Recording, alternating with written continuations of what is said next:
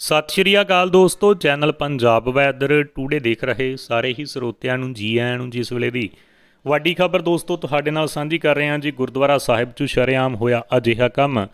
ਹਰ ਕੋਈ ਹੋ ਗਿਆ ਹੈਰਾਨ, ਜਥੇਦਾਰ ਸਾਹਿਬ ਨੇ ਫੌਰਨ ਦਿੱਤਾ ਇਹ ਹੁਕਮ। ਵੀਡੀਓ ਨੂੰ ਅੰਤ ਤੱਕ ਦੇਖ ਲਿਓ, ਤੁਹਾਨੂੰ ਪੂਰੀ ਖਬਰ ਦਾ। ਪਤਾ ਲੱਗ ਜਾਏਗਾ, ਵੀਡੀਓ ਨੂੰ ਲਾਈਕ, ਚੈਨਲ ਨੂੰ ਸਬਸਕ੍ਰਾਈਬ ਅਤੇ ਵੀਡੀਓ ਨੂੰ ਵੱਧ ਤੋਂ ਵੱਧ ਸ਼ੇਅਰ ਕਰਨਾ ਨਾ ਭੁੱਲਿਓ ਹੁਣ।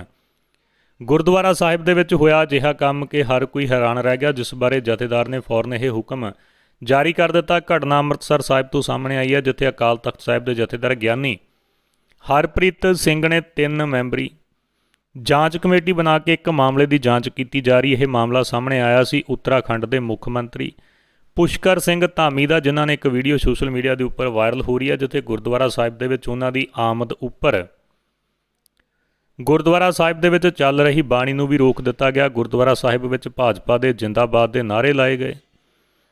ਮੁੱਖ ਮੰਤਰੀ ਦੀ ਆਮਦ ਦੇ ਉਹਨਾਂ ਨੂੰ ਸਨਮਾਨਿਤ ਕਰਨ ਦੇ ਲਈ ਚਾਂਦੀ ਦਾ ਮੁਕਟ ਦਿੱਤਾ ਗਿਆ। ਉੱਥੇ ਹੀ ਗੁਰਦੁਆਰਾ ਸਾਹਿਬ ਦੇ ਵਿੱਚ ਮੁੱਖ ਮੰਤਰੀ ਦੇ ਨਤਮਸਤਕ ਹੋਣ ਤੋਂ ਬਾਅਦ ਗੁਰਦੁਆਰਾ ਨਾਨਕ ਮੱਤਾ ਵਿੱਚ ਸਥਾਨਕ ਲੜਕੀਆਂ ਨੂੰ ਰਵਾਇਤੀ ਡਰੈਸ, ਪਹਾੜੀ ਡਰੈਸ ਪਰਵਾ ਕੇ ਮੁੱਖ ਮੰਤਰੀ ਦਾ ਸਵਾਗਤ ਕਰਨ ਦੇ ਲਈ ਡਾਂਸ ਕਰਵਾਇਆ ਗਿਆ। ਸੋ ਤਸਵੀਰ ਤੁਹਾਨੂੰ ਉਹ ਦਿਖਾ ਦਿੰਨੇ ਆ ਜੀ।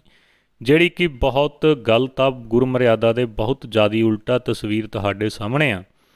ਇਹ ਸਭ ਕਰਤੂਤ ਕਰਕੇ ਉੱਤਰਾਖੰਡ ਦੇ ਮੁੱਖ ਮੰਤਰੀ ਨੇ ਗੁਰਦੁਆਰੇ ਦੀ ਗੁਰੂ ਘਰ ਦੀ ਮਰਿਆਦਾ ਨੂੰ ਭੰਗ ਕੀਤਾ।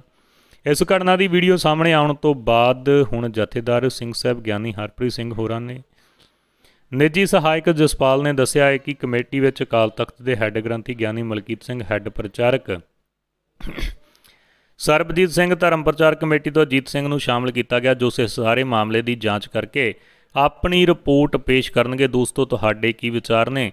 ਇੱਥੇ ਭਾਜਪਾ ਦੇ ਮੁੱਖ ਮੰਤਰੀ ਜਿਹੜੇ ਕਿ ਉੱਤਰਾਖੰਡ ਤੋਂ ਨੇ, ਉਹਨਾਂ ਨੂੰ ਕੀ ਸਜ਼ਾ ਹੋਣੀ ਚਾਹੀਦੀ ਹੈ ਕਮੈਂਟ ਸੈਕਸ਼ਨ 'ਚ ਜਰੂਰ ਲਿਖੋ। ਧੰਨਵਾਦ।